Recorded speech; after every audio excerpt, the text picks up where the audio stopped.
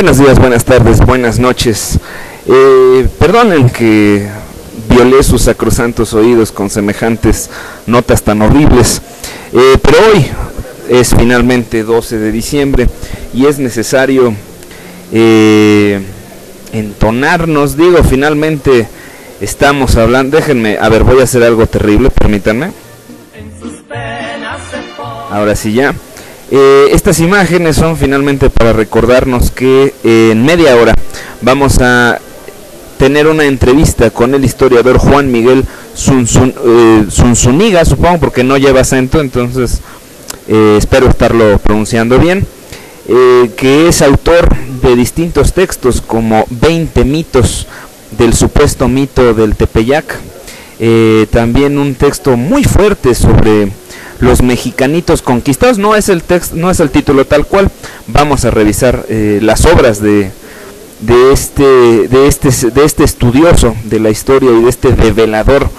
y bueno, hay también gente que nos dice, es que eso que han estado publicando del historiador ya lo sabíamos. Bueno, pues Claramente no suficiente gente sabe que todo esto del 12 de diciembre no es otra cosa más que un mito para conquistarnos espiritualmente, pero por desgracia en este momento no vamos a empezar con eso, vamos a empezar con algo no a lo mejor no más grave, pero sí más urgente. ¿Por qué?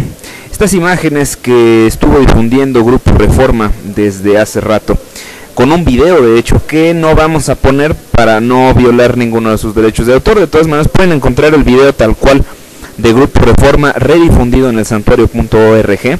El título de la entrada es video donde policías estatales y federales acribillan a dos estudiantes manifestándose desarmados.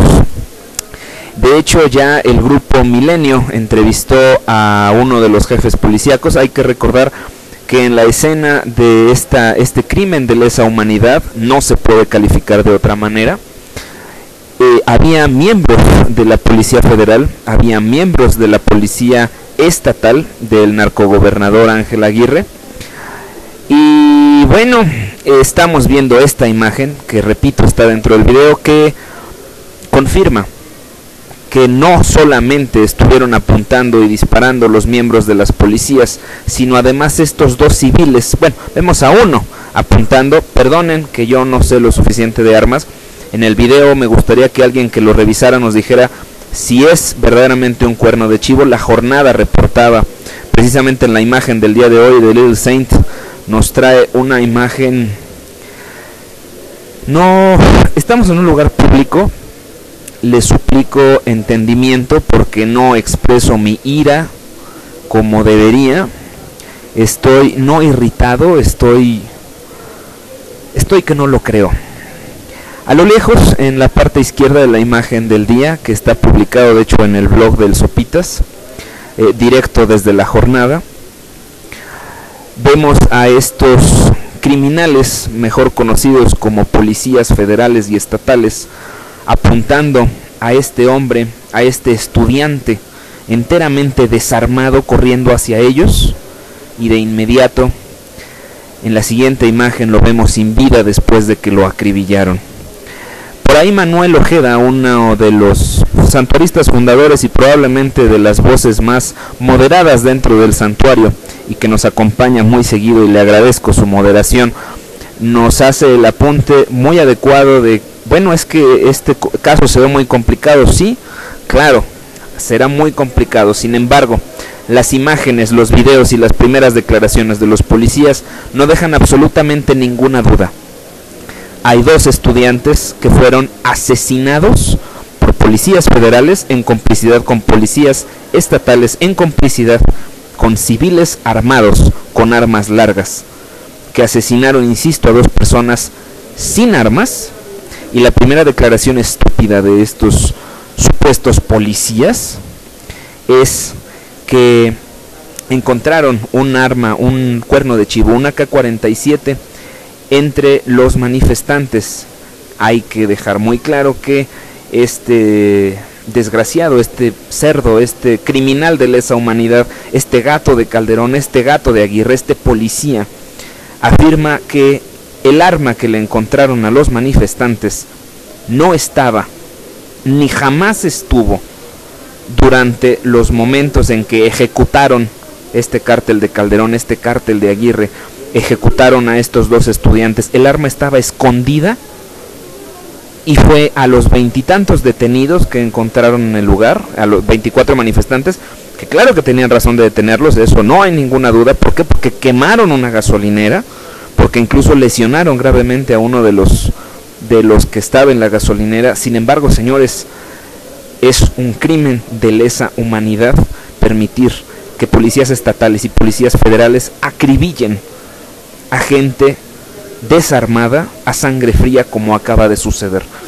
Sí, si estos dos participaron en, eh, en la quema de esta gasolinera, definitivamente deben de ser detenidos, no asesinados. Se dice que se encontraron ocho granadas. El mismo Policeta o Poli, como le podamos llamar, afirma que no tiene la certidumbre de que sean granadas de fragmentación. Hay voces por ahí que afirman que son ocho pinches bombas Molotov, ya que se utilizaron bombas Molotov durante la, manifestación. Para quienes no sepan qué diablos es un cóctel Molotov, una bomba de estas, es una pinche botella con algún líquido explosivo que puede, claro que puede hacer daño, pero definitivamente ninguna razón para asesinar a estas personas que además ni siquiera portaban ningún arma ni ningún cóctel Molotov, ninguna de las dos personas. Para aquellas lindas personas que todavía eh, afirman que el crimen, perdón, que el juicio contra Calderón es una exageración, señores, así como estas, hay muchas. Es un milagro, podríamos llamarlo milagro de una manera muy fea y de alguna manera con el ridículo día que es el 12 de diciembre, que haya estado el equipo de Grupo Reforma ahí. ¿Por qué? Porque era una manifestación, no es porque fueran videntes, había una manifestación de trabajadores de la educación con estudiantes. Estaba el Grupo Reforma ahí, tomó fotos, tomó videos y comprueba un crimen de lesa humanidad más. ¿Qué es un crimen de lesa humanidad? Es que los gobernantes usen la fuerza del Estado para destrozar, para asesinar sin razón al pueblo que gobiernan. Vamos a ver rápidamente nada más algunos comentarios dentro del santuario. El video, como les decía, si lo quieren ver, el texto dice, video donde policías y un civil asesinan a tiros a dos estudiantes desarmados en Chilpancingo, capital de Guerrero.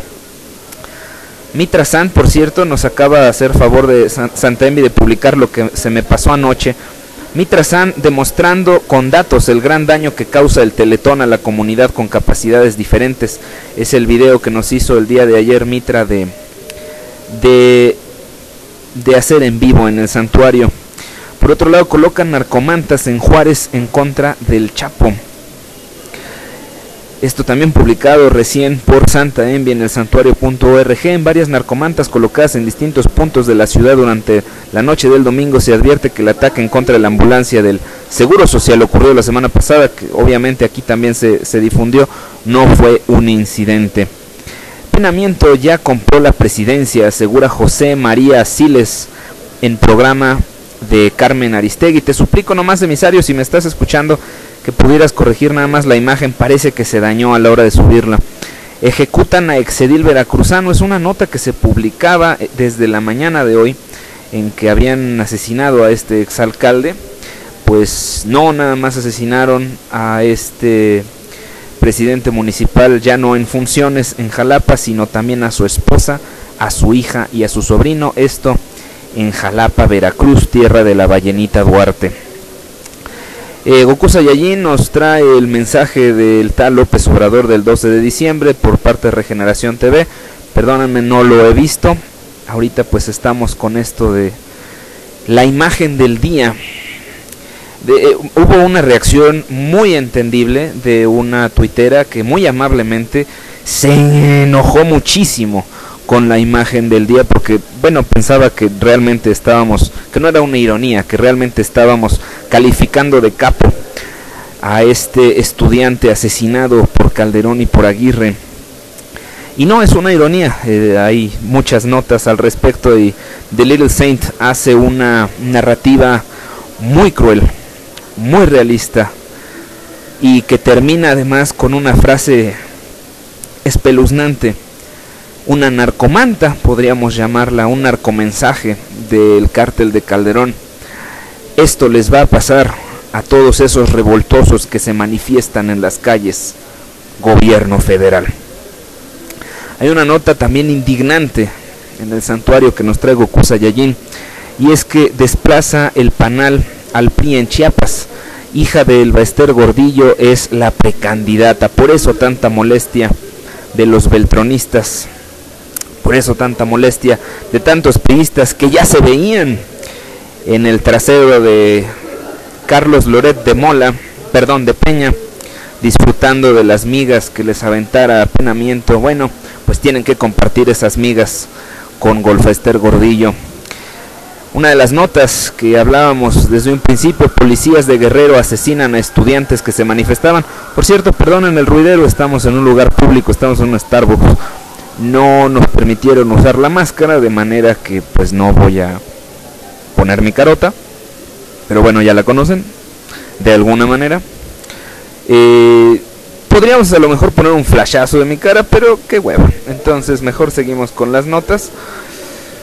Déjenme echar un ojo a lo que nos dicen en vivo antes, tenemos tres minutos antes de terminar este corte. A ver, comenzamos a transmitir sin máscara. No es una exageración, realmente estoy sin máscara, insisto, no nos dieron permiso de usarlo. Dice sedicioso, maldito espurio. ¿Espurio o no? Bueno, obviamente que es espurio, pero la descripción de maldito que acabas de usar jamás eh, le quedó mejor que en este momento. Bueno, en muchas otras ocasiones también, pero digamos que tenemos ahora mucho más imágenes gráficas para llamarlo así. Dice sedicioso que estoy en una cantina, pues si una cantina es con una imagen muy extraña como de la Virgen de Guadalupe verde, con una corona verde, que dice Starbucks Coffee Company, pues puede ser. Y de hecho sí, las diferencias entre, entre el logo de Starbucks y la Virgen son tan pocas, de hecho hasta el color verde. Esta imagen que vamos a revisar en un momento con el historiador Zunzunegui son precisamente desde el retablo del siglo XIV de la primera Virgen de Guadalupe, porque es una mentira, una falacia y una verdadera pendejada pensar que la Virgen de Guadalupe es de aquí.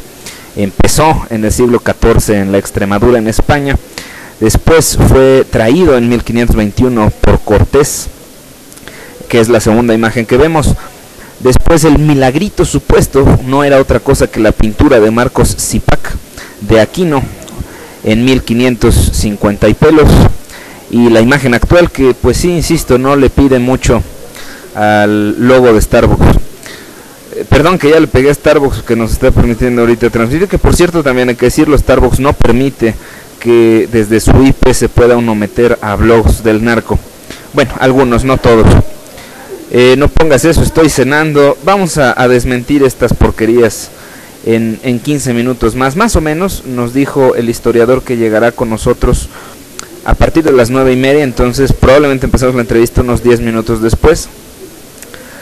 Eh, dice de Little Saint, es que los comentarios de Little Saint son tan fuertes y son tan...